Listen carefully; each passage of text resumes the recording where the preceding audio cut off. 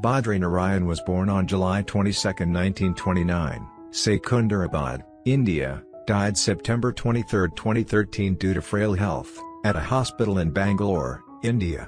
The self-taught artist Badri Narayan has been painting for over 45 years. During this time, he has worked as an art teacher and an artist.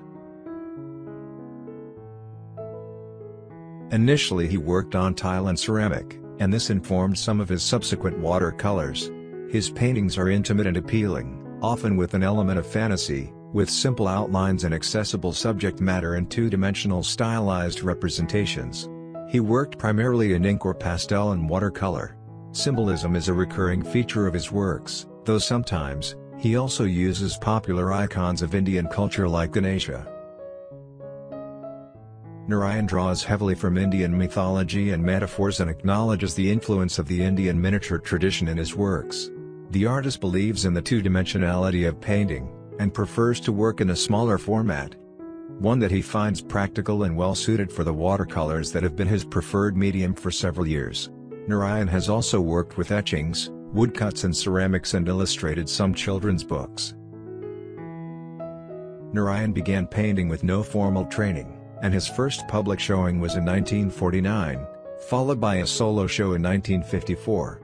He had over 50 solo shows and his work is in several collections, including the National Gallery of Modern Art and the National Museum in New Delhi as well as the Philadelphia Museum of Art's South Asian Collection.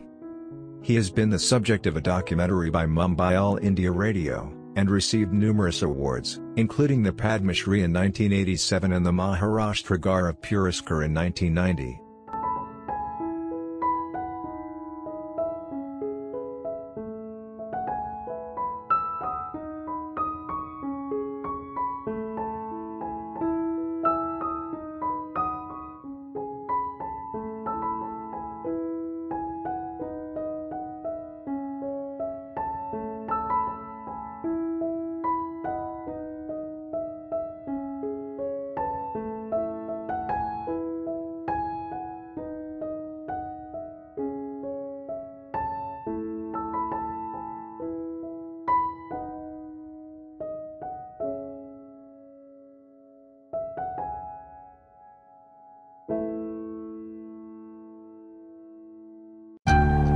For more video, subscribe our channel and switch the bell button more.